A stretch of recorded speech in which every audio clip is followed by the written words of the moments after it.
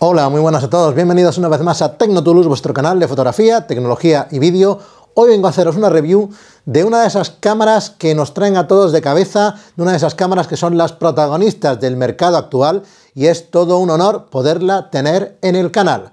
Hablo de este bicho que tengo, aquí vamos a quitarle, vamos a quitar la, tapa de erita al, al objetivo.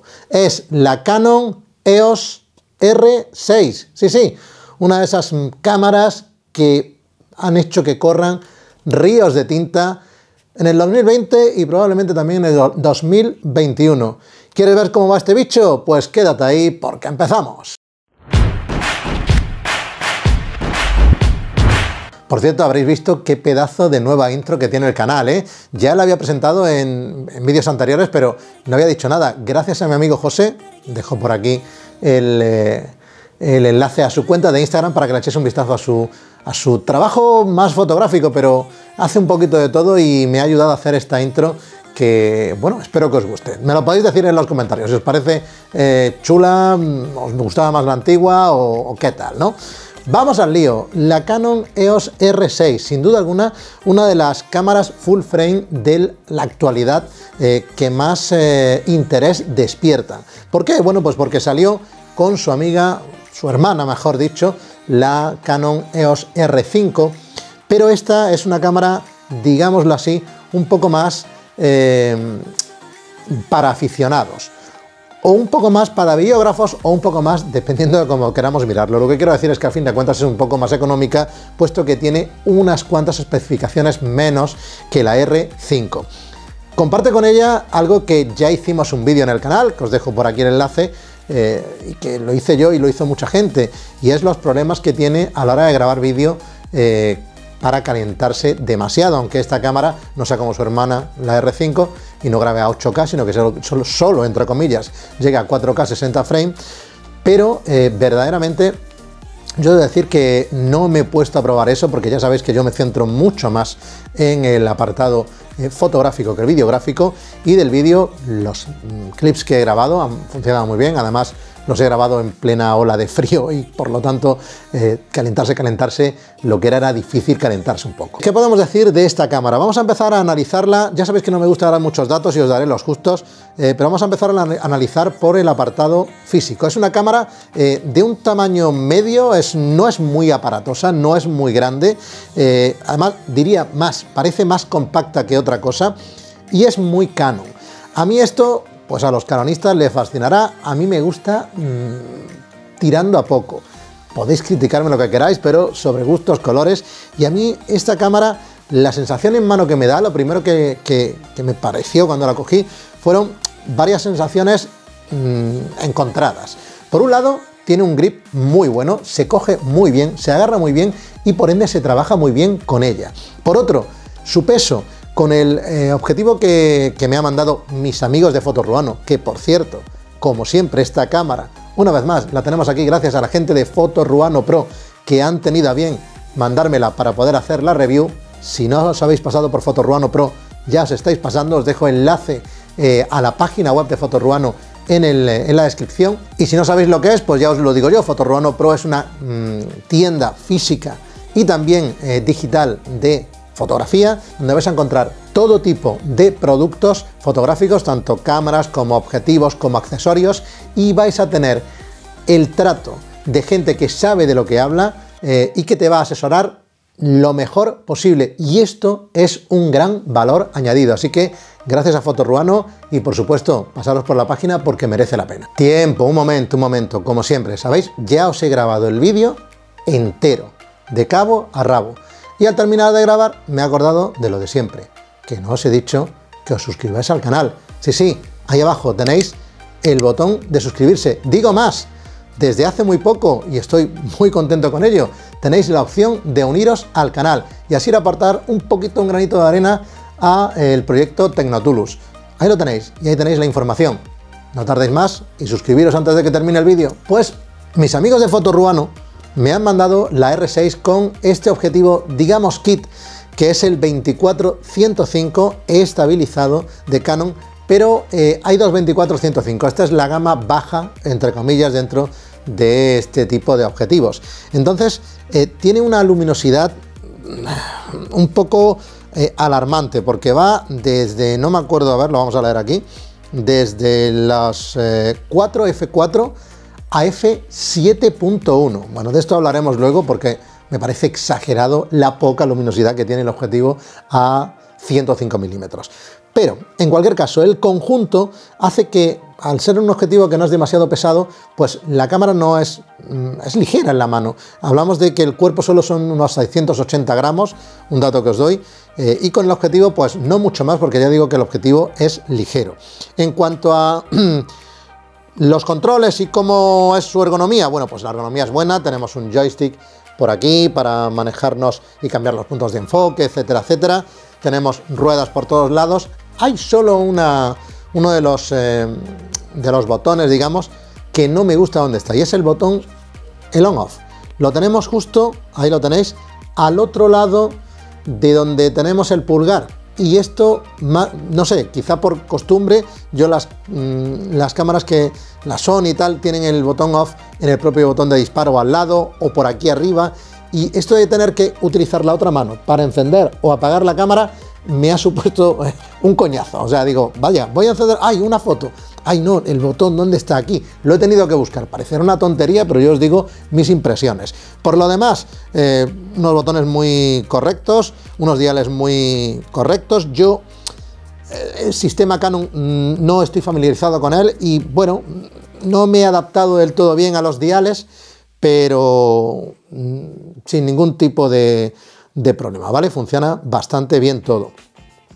En líneas generales, lo que me pasa con esta cámara, como os decía, es que eh, he dicho que tenía sensaciones encontradas. Por un lado, muy buena ergonomía, unos controles bastante acertados, pero eh, estamos hablando de una full frame de Canon de última generación y yo la cojo en la mano y ahora sí que me vais a machacar, pero casi que me da la sensación que tengo en la mano una cámara de juguete y eso no me gusta es solo una sensación, ¿eh? ¿eh? pero es lo que me pasa, ¿no? Eh, al contrario que, no sé, pues la última Nikon que probamos o la Sony, eh, esta cámara tan globosita, así, tan, tan tal, es mona, pero, pero a mí me da la sensación como que, que me falta cámara, no sé por qué. Hablo el tacto, la sensación en la mano, porque verdaderamente, como digo, la ergonomía es muy buena. Aparte de eso, aparte de los diales, tenemos Vamos a encender la cámara con el botón que tanto me, molesta. Tenemos pantalla abatible, por supuesto, como Canon suele poner en sus cámaras, eh, y más que, más que abatible. Totalmente, mira, aquí vamos a cambiar un, parámetro. Abatible para el lado, como nos gusta, para podernos enfocar a nosotros mismos o para eh, mirar por arriba, por abajo. Es la manera más sencilla y cómoda de tener una pantalla y es todo un mm, éxito que mantengamos esta pantalla. Una pantalla que por cierto se ve bastante bien, que es táctil. Y ya que hablamos de la pantalla, también hablamos del visor, un visor grande eh, y que se ve muy bien. Tiene varias mm, eh, posiciones, una posición de ahorro, una posición de no ahorro, para gastar más o menos energía. Bueno, yo lo he tenido en la posición de ahorro porque probé las dos y la verdad es que tampoco noté mucha diferencia y se ve muy bien. Un, un visor que me ha gustado bastante. De lo más destacable de esta cámara para mí es el visor que me ha gustado y mucho. Y la pantalla también se ve muy bien. Eh, más cositas del apartado físico, ya nos metemos en más cosas aparte de lo físico. Bueno, pues por aquí tenemos el acceso a la eh, doble ranura de tarjeta SD de alta velocidad.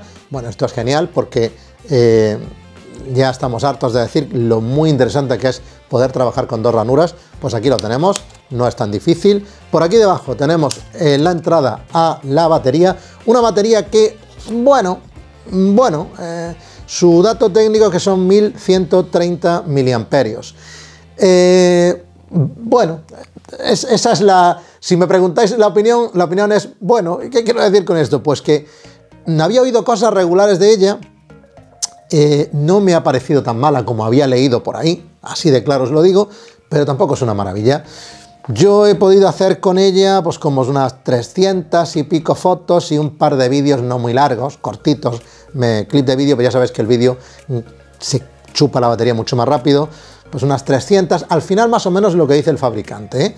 Eh, ni más ni menos. Detalles interesantes que tiene esta cámara, también a nivel físico. Si yo tengo la cámara encendida, como la tengo ahora, y quiero cambiar el, la lente, pues nada, ahí os estoy enseñando el pedazo de eh, sensor full frame, por cierto, de 20 megapíxeles, del cual ahora hablaremos. Esto, como con cualquier otra cámara, pero si tengo la precaución de apagar mi cámara antes de cambiar la lente, ahora lo que me encuentro es las cortinillas del obturador ahí cerrando eh, lo que hay dentro y lo más importante, el corazón de la cámara, que es el sensor. ¡Ostras! ¡Qué detalle más bueno, Canon! ¡Qué maravilla de detalle! Los demás fabricantes, de verdad, ¿tan difícil es hacer esto?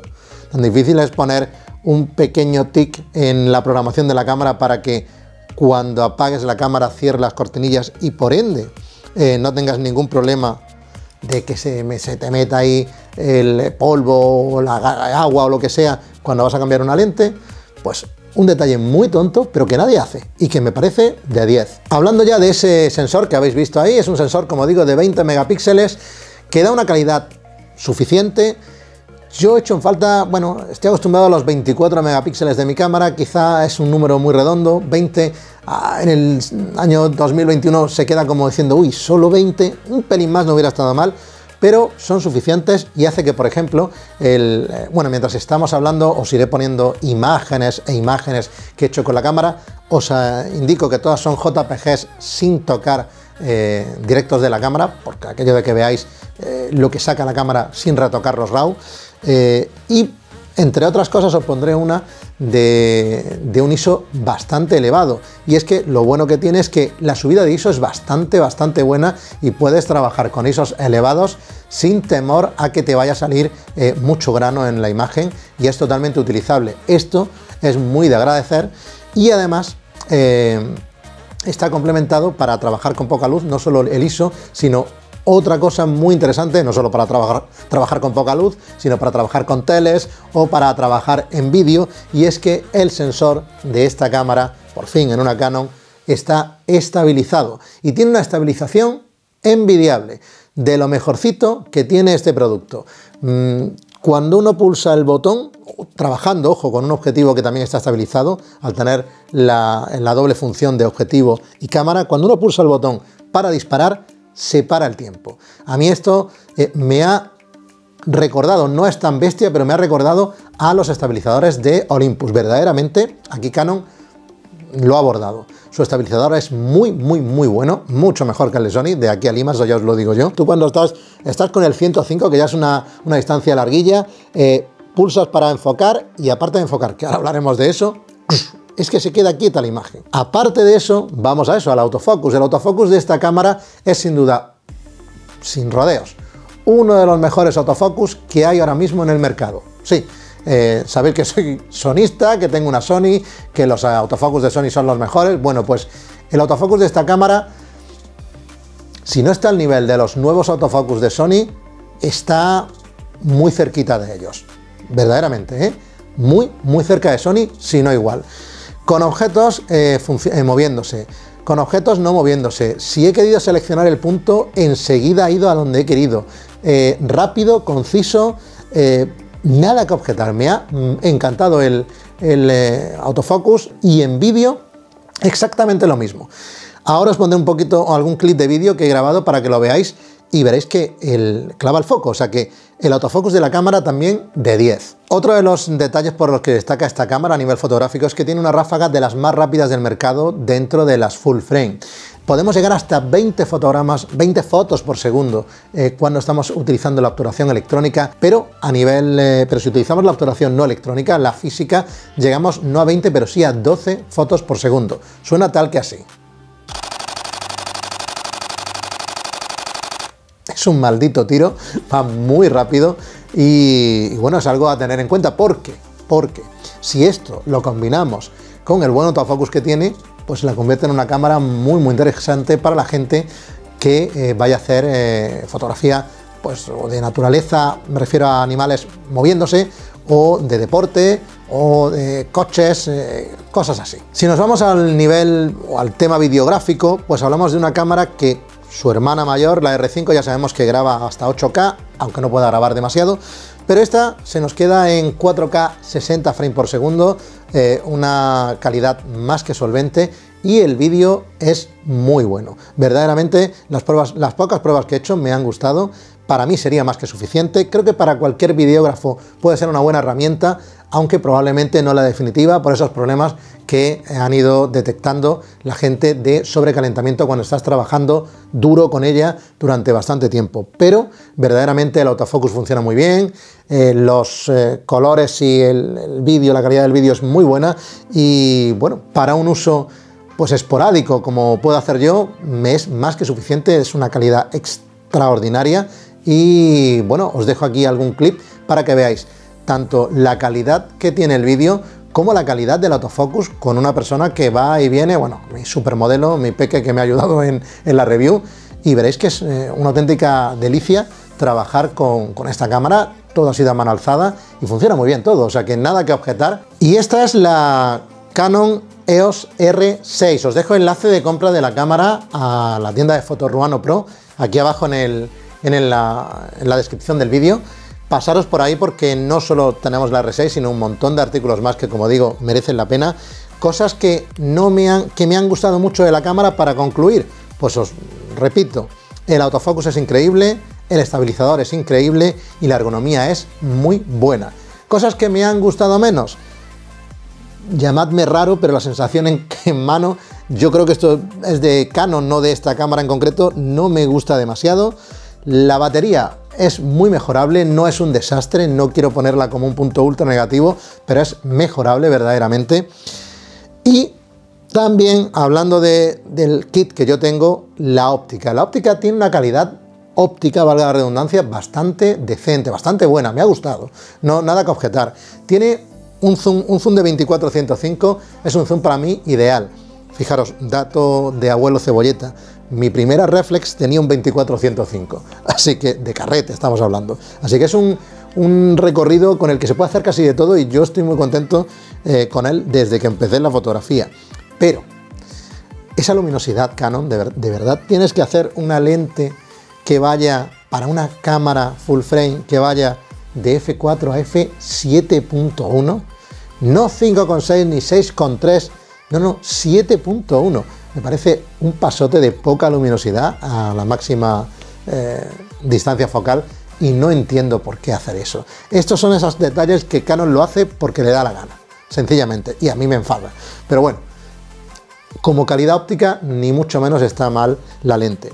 Y por último, solo un detallito que tampoco me ha gustado de la cámara, es que una cámara que ronda un precio de unos 2.000 euros, o por ahí con el, con el objetivo este creo que son 2.000 o 2.500, ya no me acuerdo, ya lo veis en, la, en el enlace de la descripción. Ostras, a mí me parece que estamos hablando de una cámara de cierta categoría. No podíamos haberle dejado aquí la pantallita LCD, esta famosa, para ver los parámetros que cuando uno está trabajando, sobre todo si está trabajando con el visor, muchas veces miras aquí, en vez de tener que estar dándole la vuelta a la, pantalla, o incluso con la gran ventaja que tiene esta cámara de tener una pantalla abatible, si estás trabajando con ella solo con el visor, sí, para los que somos muy puristas y nos gusta mirar siempre por el visor, pero puedes tenerlo así para trabajar y aquí tienes el chivatito del ISO al que estás, la apertura, en fin, las cuatro cosas. ¿De verdad cuesta tanto mantenerla ahí? Salvo estas cositas, esta Canon EOS R6 es una cámara muy interesante que me ha gustado mucho. A nivel fotográfico tiene mucho que dar y a nivel videográfico pues creo que también, aunque para eso habría que hacer una prueba mucho más exhaustiva de ella. Poco más en este vídeo, si os ha gustado ya sabéis, dadle a like. Si no estáis suscritos todavía a Tecnotulu, ya estáis tardando en suscribiros. Y, por supuesto, seguidme por mis redes sociales, por mis dos cuentas de Instagram, que entre otras cosas encontraréis pruebas que he hecho con esta y con todas las cámaras que voy probando aquí en el canal. Ahora sí, poco más, gracias por estar una vez más ahí y hasta la próxima.